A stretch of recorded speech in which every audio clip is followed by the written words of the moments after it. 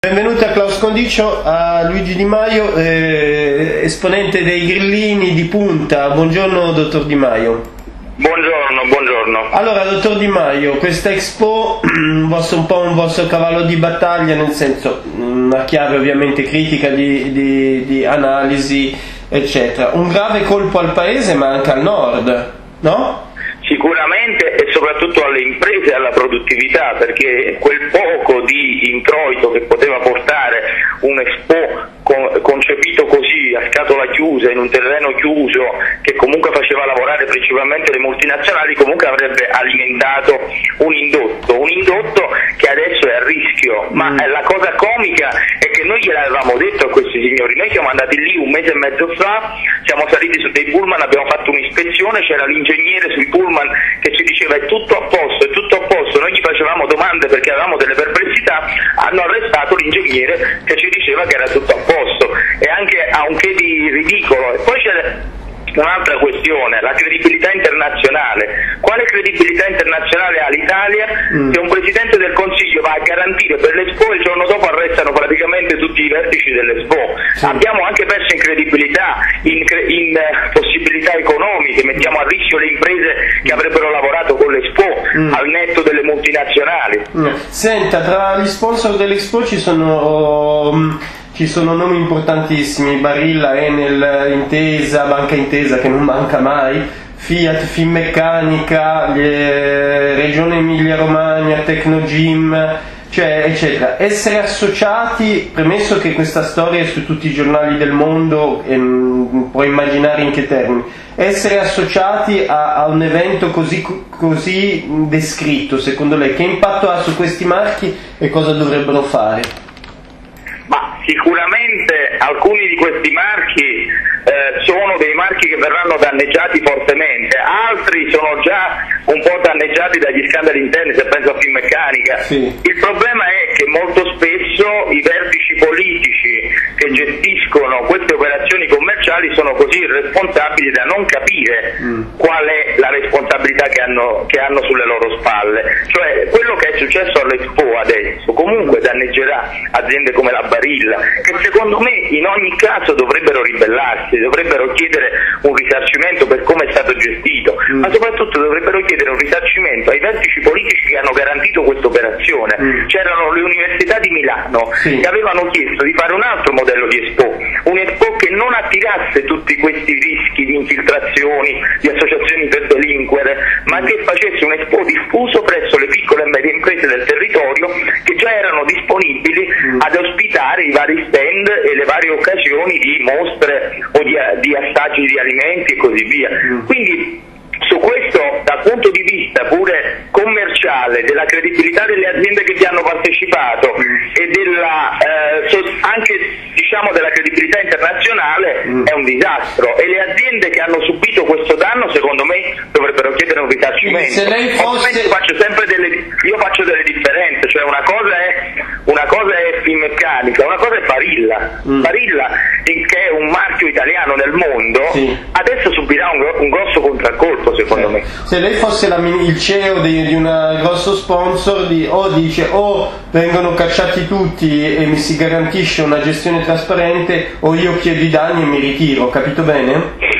Ma certo, certo Senta, le leggo un passaggio perché poi ho buona memoria, le leggo un passaggio che era, eh, in realtà voi avete da sempre denunciato, eccetera, però anche loro erano consapevoli della, qualcuno era già consapevole della corruzione. Il presidente di Assorel, che è l'associazione delle agenzie di comunicazione, denunciava già due anni fa in un documento ufficiale che poi allego alla sua intervista a proposito delle gare di comunicazione dice no, l'Expo non fa comunicazione poi nelle gare vincono sempre gli stessi questo è un documento ufficiale quindi già aleggiava l'odore di corruzione. Cosa deve fare con questo documento secondo lei la magistratura questo...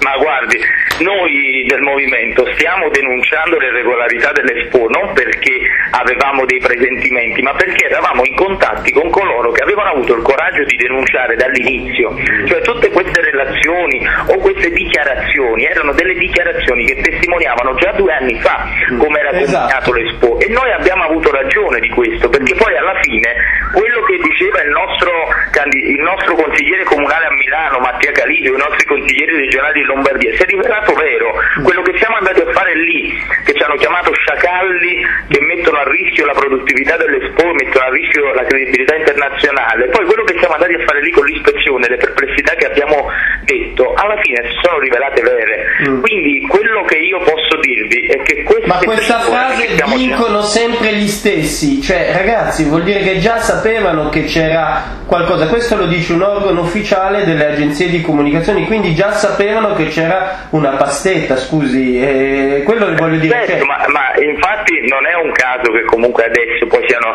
arrivati agli, agli, eh, agli arresti per le irregolarità, eh, noi lo stiamo denunciando, altri attori lo stanno denunciando, attualmente la vera, eh, la vera responsabilità ce l'hanno i vertici politici che hanno garantito questa operazione. Senta, due, due, due altre cose, Sala, Sala fa un po' la verginella eh, però Sala intanto era in rapporti con Letta, lo sapevano tutti, e con Gianni Letta, anche per il dovere istituzionale, eh, non è una colpa, intendiamoci, il quale Letta poi eh, compare eh, copiosamente nelle intercettazioni, eccetera. Sala, che, eh, chiedete le dimissioni di Sala, mi pare chiaro, no? Ma noi, siamo, noi abbiamo chiesto le dimissioni praticamente di tutti i responsabili, qui la questione si basa anche su un'altra, mm. su un'altra percezione, che la sinistra c'entri molto in questa storia, qui è stato arrestato, c'è, c'è dentro sì, arriviamo, ci arriviamo, però prima, per... prima, volevo un pensiero chiaro su Sala, perché Sala fa scrivere ai giornali, ah ma insomma sono perplesso eccetera, fossi lui eh, farei dei segni. Ma certo, eh. ma queste sono persone che devono andare a casa, sono i principali responsabili di questo disastro, poi chi è stato arrestato, chi non è stato arrestato, ma qui quello che è evidente è che c'è stata una gestione irresponsabile, Sala, ma anche coloro che sono andati a fare la sfilata lì. Se, fosse, se, fosse, caduta dal nulla questa questione avrebbero anche ragione ad essere perplessi, ma glielo stiamo dicendo da tre anni sì, sì, che questo metodo di gestione era folle. Quindi... Veniamo alla sinistra per chiudere, appunto ha sollevato lei ma ci volevo arrivare io, la sinistra, cioè forse la vera notizia di tutto questo che la sinistra eh, in tutta questa cosa cosa ha fatto? Ci ha mangiato, non ci ha mangiato, che ruolo ha? È una sinistra in Italia col portafogli a destra, di sinistra ben poco, queste sono, le abbiamo già viste in azione in questi anni, persone che dicono di stare dalla parte dei più deboli e poi votano la riforma Fornero, poi votano per le spese militari, li conosciamo, sono quelli di abbiamo una banca, sono quelli che hanno fatto operazioni con le cooperative rosse e hanno promosso il RAS delle cooperative rosse al ministro Ministro del Lavoro, stanno con le cooperative rosse nella TAB in Val di Susa, nell'Expo e hanno enormi responsabilità nell'Expo. Mm. Sappiamo bene quanto l'hanno sponsorizzato, quanto si sono fatti promotori di questa operazione immobiliare e, e di cementificazione alla fine hanno esclusivamente prodotto un risultato che è quello che abbiamo. Però Bersani dice sono cose millantate. Non ho capito, chiedo scusa. Bersani dice mio, eh, sono cose millantate, millantano il mio nome, io non c'entro nulla. Dice oggi al sì, fatto sì, sì, vabbè. vabbè, questa era la stessa storia di Penati che poi si è dimostrato che era vero. Queste sono le TMPS che vedremo, a Monte dei Paschi di Siena come evolverà. La sinistra ha le mani in pasta nei più grandi scandali di questo paese ed è solo questione di tempo e verrà dimostrato. Eh, noi parlavamo di Monte dei Paschi di Siena in tempi non sospetti, di Tavi in Val di in tempi non sospetti, poi alla fine escono fuori inchieste, escono fuori arresti all'Expo. Noi a questo ingegnere che è stato arrestato gli abbiamo detto ma voi come fate in questo momento ad agire, a lavorare con questa mole di cemento, a, a rispettare i tempi? Lì ci dissero che era tutto regolare e che noi eravamo degli sciacalli. Quello è stato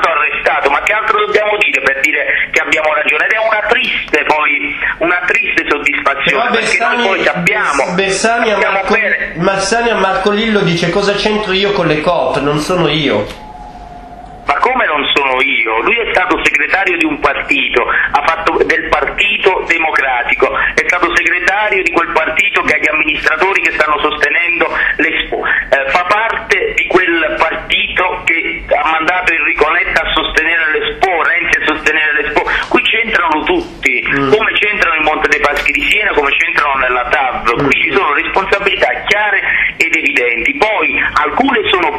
altre sono politiche, ma quelle politiche sono peggio di quelle penali, mm. perché sono responsabilità che fanno disastri disastri su larga scala per scelte politiche che sono principalmente di interesse e Bersani viene da quella regione dove le cooperative rosse imperano e tuttora gestiscono consensi e si aggiudicano appalti in tutta Italia nelle grandi opere.